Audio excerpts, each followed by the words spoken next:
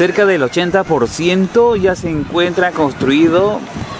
el nuevo sistema o el edificio de azúcar refinada de la empresa Casagrande. Ustedes pueden ver desde que antes, desde esta toma, se podía ver el caldero chino, se podía ver eh, también los, los otros calderos de los Gildemeste, pero sin embargo, ahora casi ya no se ve nada de lo que es gran parte de la fábrica. Pero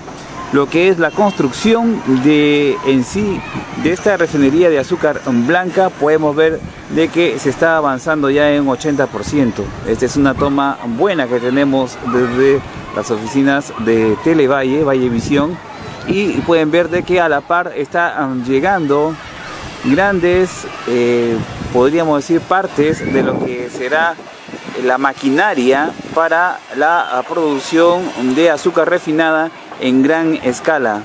Desde la semana pasada vemos de que unidades, tráiler como los que están en este momento en cola, están trayendo estas estructuras metálicas de acero. Son gigantes parecidos a naves espaciales eh, que eh, usted lo puede ver aquí en la avenida central de eh, Casa Grande.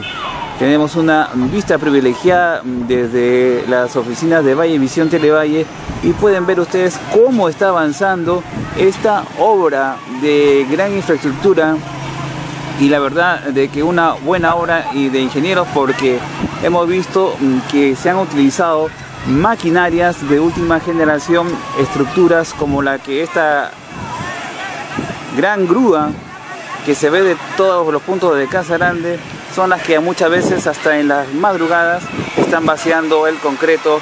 a esta gran obra que se viene haciendo en el distrito de Grande como es la nueva planta de refinería de azúcar blanca de la empresa Grande. Ustedes pueden ver lo espectacular de estas estructuras parecidas al Apolo 11, la primera nave que llegó a la luna y por aquí también otra muy similar de gran tamaño por supuesto. Entonces queríamos compartir con todos ustedes esta obra que se viene realizando en el distrito de Castellande, eh, como es la refinería de azúcar blanca.